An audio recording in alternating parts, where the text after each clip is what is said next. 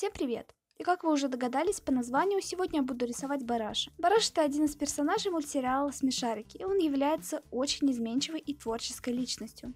Конечно, чаще всего он страдает из-за отсутствия вдохновения. Мне нравится его образ. Поэтому мне стало интересно, как же он будет выглядеть в более реалистичном стиле. Давайте начнем.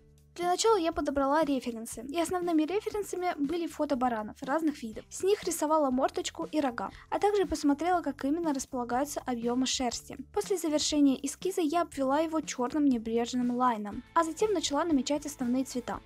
Я сразу знала, что это будет что-то осеннее и дождливое, так как за окном у меня что-то похожее.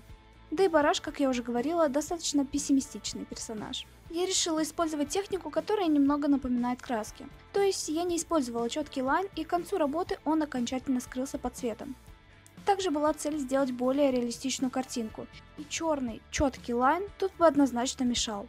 На этапе подбора цвета мне тоже пришлось подумать. Оттенок необычный, такой нежно-фиолетовый. Было важно передать его на своем арте, чтобы персонаж был узнаваемый. Я пыталась максимально подобрать нужный оттенок, но при этом сделать более натуральный цвет шерсти и рогов. Также я использовала кисть, которая очень напоминает мазок настоящей кисти. Вот настройки, с помощью которых я добилась такого эффекта.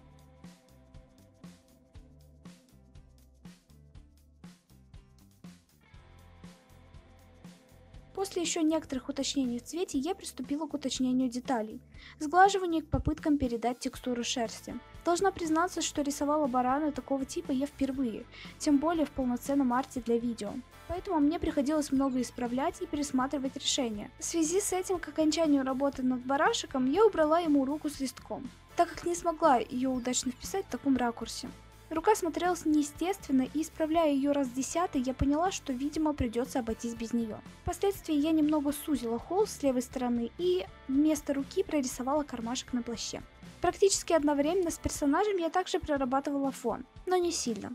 Я все равно планировала его размыть. Насчет освещения, честно признаюсь, изначально хотела одного, а получилось, ну, как всегда. Освещение вроде как фронтальное, но, к сожалению, это не везде читается. К тому же, судя по окружению, действие происходит на улице, в пасмурную погоду. Освещение в таком окружении весьма специфическое, и я не думаю, что это смотрелось бы удачно на арте.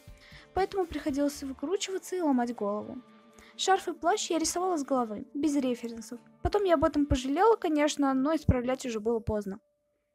Последними штрихами были размытие фона, добавление дождика и наложение текстуры.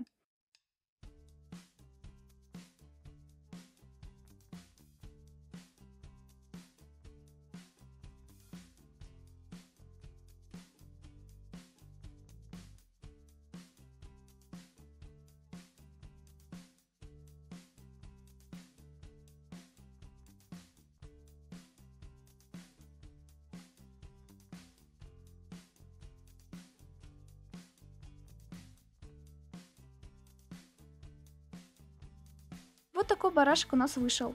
Напишите в комментариях, узнаваемый ли персонаж. А также давайте выберем, кого из котиков перерисовывать в следующем подобном видео. Гамбола или Матроскина. Жду ответы в комментариях. А на этом все. Огромное спасибо за просмотр. Всем вдохновения и пока.